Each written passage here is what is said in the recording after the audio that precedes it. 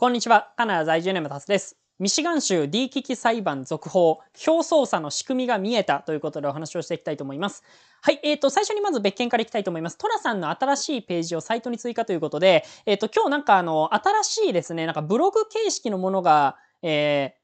ランチされたみたいな感じでアナウンスメントがされていました。まあ結局はそのトラさんのあのセイブアメリカっていうサイトの中に新しいページができたっていう形になるんですが、えっ、ー、と、一応 from the desk of トラっていう感じですね。はい。で、えっ、と、おそらくなんですけれども、今まで出していた指示声明のような公式声明と、あとその他のものがずっとごちゃ混ぜでニュースっていう形で出てましたので、まあそれを分ける形かなというふうに思います。ちゃんとしたその指示声明みたいな公式声明は、そのニュースっていうところのカテゴリー。で、あの、その他のものですね。例えば昨日で言うとリズ・チェイにあのボロカスに言うようなやつとか、あとジョージア州のね、州知事、州務長官コンビをボロカスに言うようなものとか、まあそういうものを分けるためのものなんじゃないのかなというふうに思います。あとは、あの、もう一つはあの動画みたいなものも今回これ1本目まさに投稿されてるんですが動画を投稿したりとかもできるようになってるようなのでまああのそんなめちゃめちゃ新しいものとは言えないんですけれどもまた何か一つファンクションが増えたかなというような形形になってますね。はい。で、えっ、ー、と、ちなみになんですけれども、昨日そのやり合ったリズ・チェイニーなんですけれども、早ければ来週にはですね、共和党下院議員内のその役職から解任される採決が取られる見通しであるということだそうですね。なんか、その、ケビン・マッカーシー下院リーダーがですね、えっ、ー、とな、なんか言ってたとか、そういう系のですね、言葉がなんか流出し始めてるんですね。はい。まあ、ということで、ようやく動くかなっていうような感じがしますね。はい。では、えっ、ー、と、まだまだ続いているミシガン州アントニム郡の D 危機裁判に関していきたいと思います。えー、ミシガン州高等裁判所で D 危機関連の裁判が進行中です。はい。まあ、D 危機だけとは言わないんですけれども、まあ、とりあえず投票危機に関する裁判がですね、まだ続いています。えっ、ー、と、求めているもの何かというと、アントニム郡内の投票用紙、投票機器に関するすべての検査を行うこと。もう一つは損害賠償250万円ということで、多分これ弁護士費用に充てるためのものだと思います。はい。まあ、ということで、えっと、今、そのアントニム分限定にはなるんですが、投票用紙であるとか投票機器に関する検査を求める裁判が進行中であるということですね。えっ、と、今日なんですが、被告側、ミシガン州アントニム郡側の却下要求への反論と、あとはそこに付け加えて新たな分析結果を裁判所に原告側が出したというような形ですね。えっ、と、訴状の内容を読むとですね、当初の予定では明日、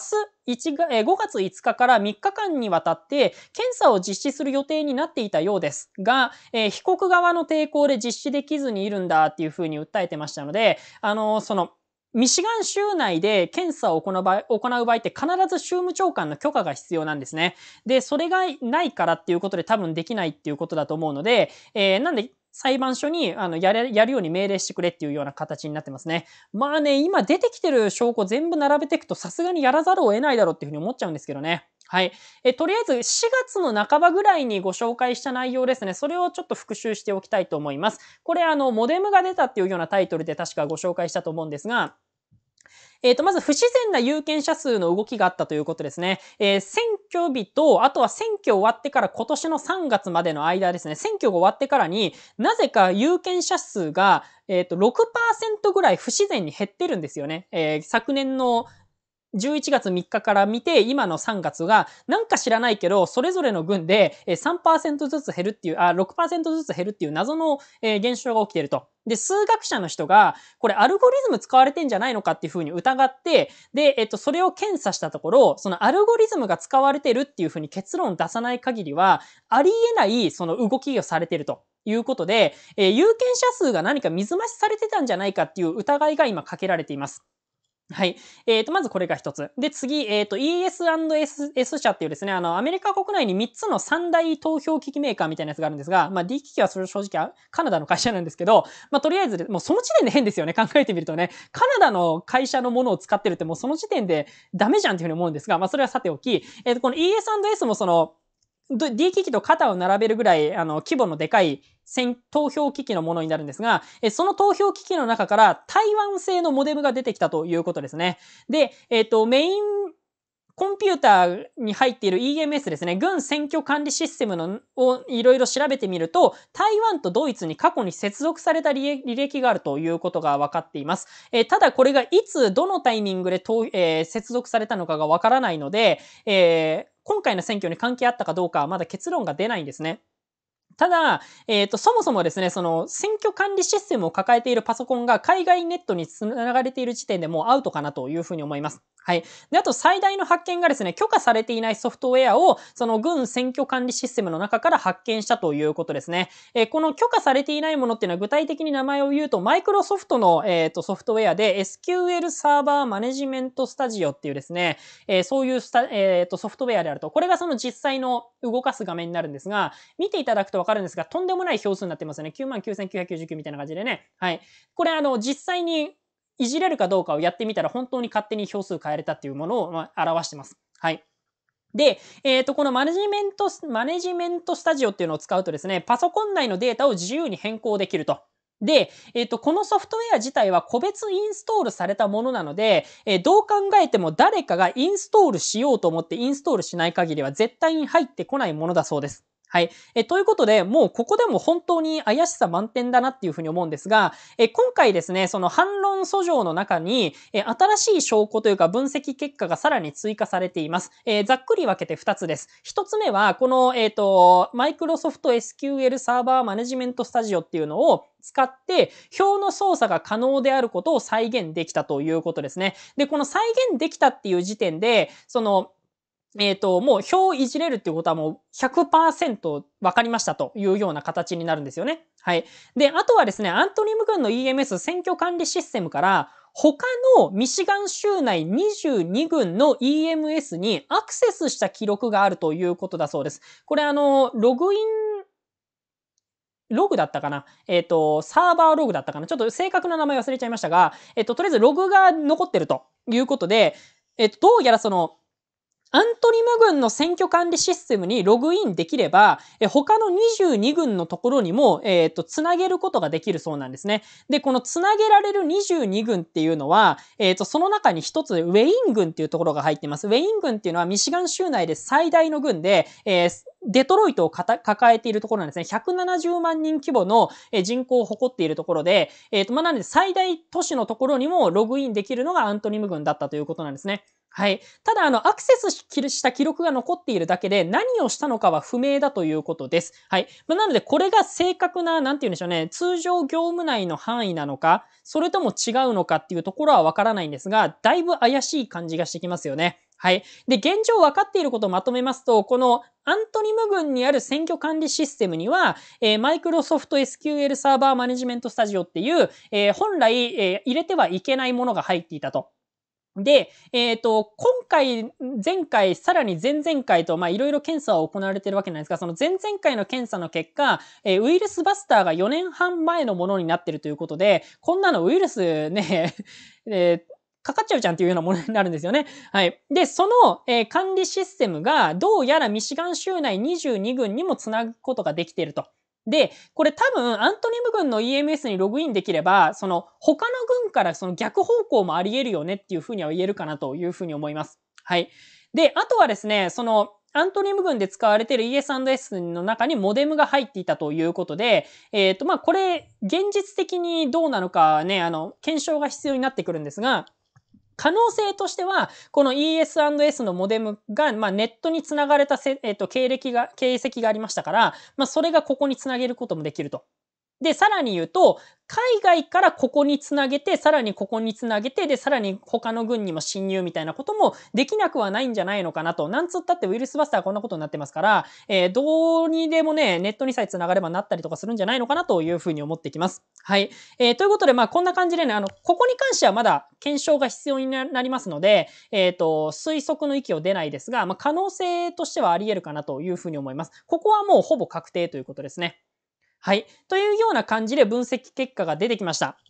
はい。で、もう一つですね、あの、ようやく理解した分析結果ということで、これあの、4月のその半ばに出てきた、えー、訴状の内容を読んでも僕がね、いまいち理解できなかった数字の、あの、お勉強になります。はい。あの、僕どうしてもね、数字が苦手なので、この数字が大量に出てくるとですね、あの、心がもうシャットアウトしちゃうんですよ。はい。なので、理解しようとしてなかったんですが、結構これ重要な内容を書かれてました。はい。えっ、ー、と、これ何かというとですね、そのアントニム軍内で手集計をした結果、明らかに不自然な規則性が見つけられたということなんですね。え具体的に怪しいところなんですが、アントニム群16地区あるんですが、16地区全部じゃないです。えそのうちの、えー、っと、9地区かな ?9 地区内、この赤で囲んだところが明らかに不自然だということですね。で、ちょっと数字がごちゃごちゃしますので、先に結論からいきますと、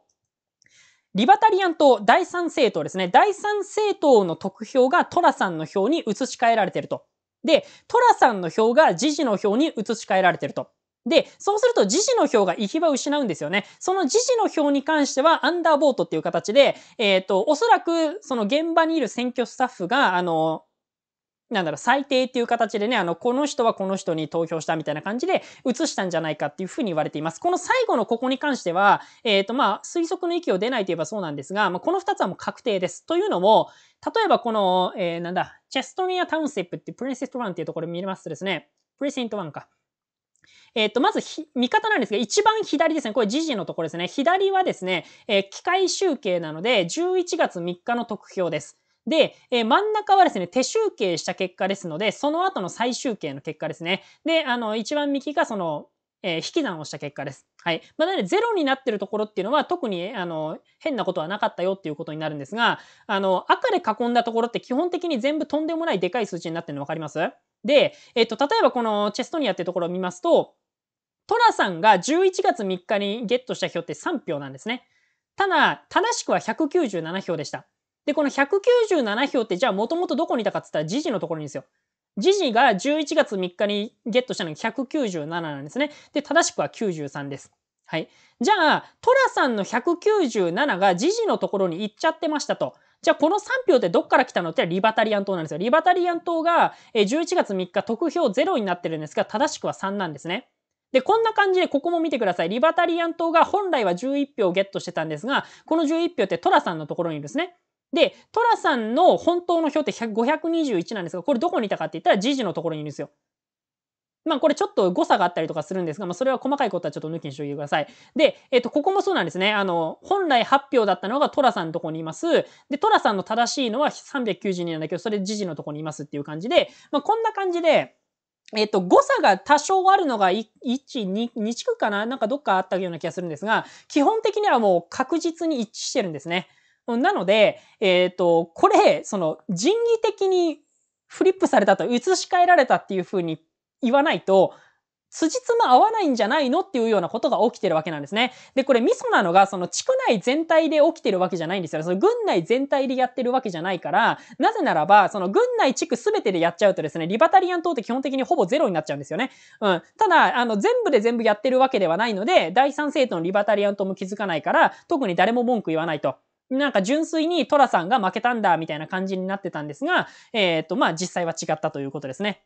はい。で、今回このアントニム軍のこの結果に関しても、11月4日かなの、えっ、ー、と、午前だか夕方だかに、えっ、ー、と、その州民からの、州民というか軍民からの、えー、メールが来て、で、それで初めて、あの、手集計しないといけないんじゃないかみたいな感じで疑われたというわけなんですね。はい。まあ、なので、あの、本当だったらこのままバレずに行くはずだったんですが、まあ、残念ながら手集計する運びになった結果、こういうことがバレてきたということなんですね。はい。ということで、まとめますと、あの、明らかに第三政党のものがトラさんに、トラさんのものがジジに、で、ジジのものは、えっ、ー、と、まあ、さらにジジの上に上積みみたいな形になっていた可能性もあるし、なんかそのままどっか行っちゃってる可能性もあるし、そこのあたりはちょっとわかりな、わかんないですが、まあ、とりあえず、あの、第三政党も巻き込んだものになっていたということがわかるんですね。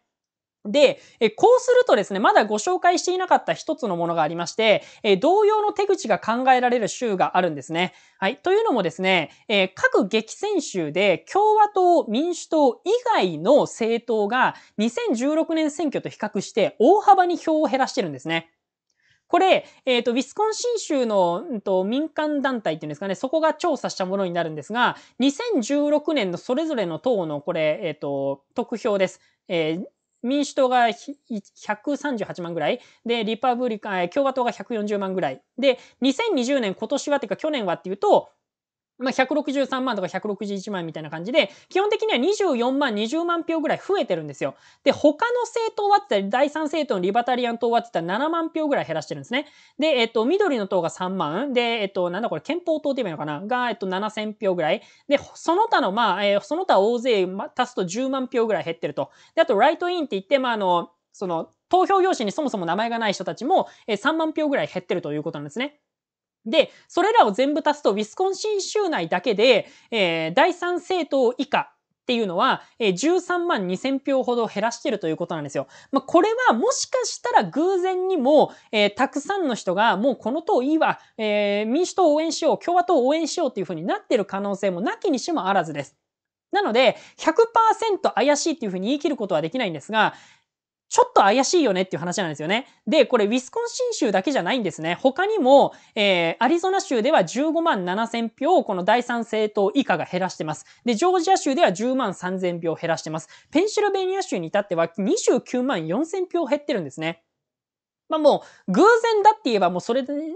だけなので、あ、そうなんですかっていうふうになっちゃうのかもしれませんが、ちょっと怪しいよねと。で、さっきの話に戻ると、えっ、ー、と、このアントニム軍の手口を考えていくと、あれ第三政党の票をちょっといじくったものっていうことになってくるわけなんですよね。で、そうすると、うん、怪しいところ出てくるんじゃないのっていうふうに思います。ただ一つだけ言っとくと、ジョージア州は多分違います。あの、もう州全体で再集計をしているので、該当する可能性は低いかなというふうに見てるんですが、他のところって州全体での再集計ってしてないんですよね。ウィスコンシン州もあの、大きいあの軍2つかな、えー、でやっただけなので、で、イン軍とあとはなんだ、えっ、ー、と、ミルウォーキーかの2つでやっただけなので、えー、なんともわからないと。いう風な形なので、あの、結局州全体で再集計しないことには、今回この手口が本当に、えー、幅広く使われていたか、または、えー、アントリム軍だけが怪しい話なのかとかはまだわからないんですが、えー、まあ、とりあえず、ジョージア州は省いていいかなとは一応思います。はい。というふうに考えると、ペンシルベニアがちょっとズバ抜けすぎかなっていう怪しさはありますよね。ごめんなさい、ちょっとミシガンはですね、あの数字が見つけきれなかったのでご紹介できないんですが、ミシガンは多分あのペンシルベニア級のことになってる気がしなくもないです。はい。で、あとここから思うのがアリゾナ州のマリコパ軍の今の最終形結果ですね。えー、あれ次第では疑惑がさらに深まることにもなるのかなというふうに思います。はい。えー、ということで、今、今、いろいろお話ししましたが、あの、第三政党以下もだいぶ巻き込まれている可能性も出てきたかなというふうに思いますから、多分州によってもいろいろとやり方は違うのかなとは思います。はい。え、とりあえずミシガン州は全体でやるべきかなというふうな感じがしてきますが、まあ多分新しい裁判が必要かなというふうに思いますね。はい。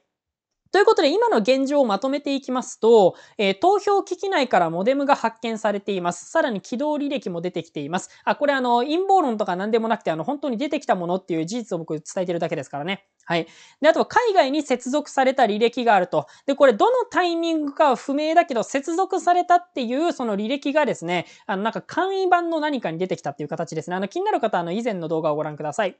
で、あとは表を操作できるソフトウェアが発見されて、で、さらに本当に操作できるっていう再現にも成功しています。で、表が不自然な規則性で動いていたという事実。えセキュリティログが抹消されているため、残念ながら外部接続に関してはこれ以上は追求不能です。で、これもあの陰謀論でも何でもなくて、シェリル・ガイっていうですね、アントニム軍の、えー、まあ、現場を指揮している女性の方が、あの、もうすでに供述しています。ウィングっていう自分の部下が、えー、消しちゃいましたと。いうふうに3月の4日か何かにですね、えー、裁判所の公聴会か何かでお話ししてますので、これもあの、陰謀論とか何でもなくて本当に勝手に消しちゃってます。はい。で、えー、あとアントニム軍選挙管理システムから他の22軍に接続された形跡が発見されていますが、何をしたかはまだ不明なので、これ以上は踏み込むことができないんですけれども、まあ、ここの今現状のものを全部足していくと、なんか繋がってくるものはなきにしもあらずかなっていうふうに思えてきます。はい。まあ、とりあえずですね、今行われている、今回紹介した裁判っていうのは、アントニム軍のみを対象にしたものなので、えミシガン州全土を調べる必要があるかなと。で、特に接続履歴のある他の22軍ですよね、えー、はどうだったのかなっていうのを、まあ、最低でも手集計することによって、えー、調べる必要はあるかなっていうふうに思いますが、まあ、最低でもね、第三政党のリバタリアン党とかにはね、えー、協力仰いで一緒にその再集計しようよみたいな感じで動いてもらえたらいいかなというふうに思います。はい。ということで、あの、こんな感じで、まだまだミシガン州疑惑が深まっていくだけで、なかなか解明されることはないんですが、えー、新しい話が出てきたらまたお話できたらなというふうに思います。はい。えー、ということで、最後までご視聴ありがとうございました。最後はですね、あの これは確かタヌキが寝てたんですね。で、そこにタヌキが寝てることに気づかない状態でデブちゃんが登ってって突っ込んでって、で、あの、タヌキになんだお前みたいな感じで見られてるところですね。えー、今度またあの動画であの、デブちゃん動画、デブタヌキ動画の方ですね、あの、サブチャンネルの方でこの、えー、模様はご紹介しようかなっていうふうに思いますが、最終的にタヌキが規制を上げながらデブちゃんを追っ払っていきます。はい。えー、ということで、また気になる方は、いつ上げれるかわかりませんが、そのうち動画を上げたいと思いますので、ぜひご覧ください。はい。ということで、最後までご視聴ありがとうございました。失礼いたします。